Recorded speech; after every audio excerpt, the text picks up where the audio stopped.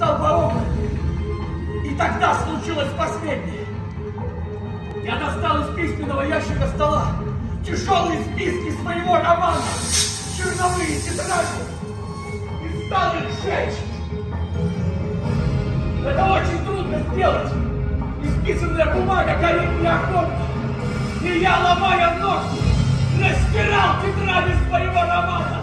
И стойня укладал, и между листы временами пепел душил меня, но я боролся с ним. знакомые страницы романа все же погибали.